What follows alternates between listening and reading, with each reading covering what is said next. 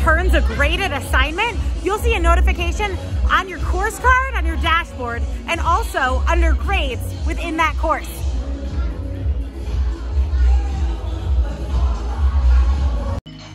In your course navigation, click Grades to see more detailed information.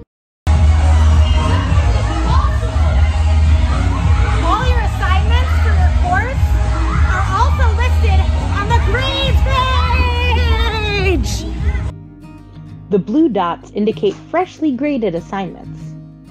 In the Due column, you'll see the due date for each assignment. You'll also notice any missing, late, or excused tags.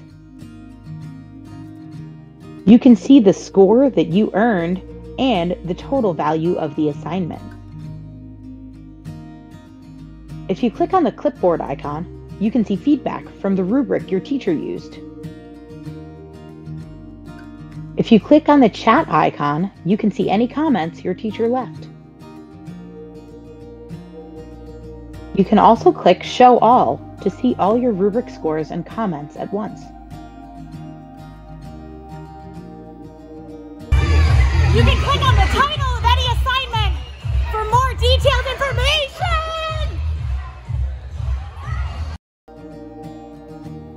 Click on the title of any assignment to get more details.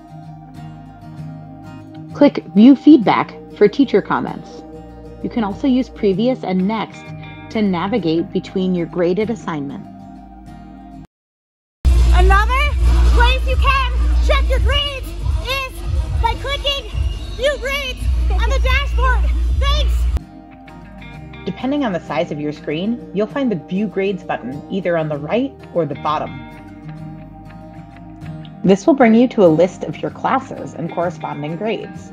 Many teachers have disabled averages, but this screen is still helpful because you can easily click to see your grades for any class by simply clicking on the name of the class. If you're having trouble finding grades for a particular course, you can always ask that teacher. Night.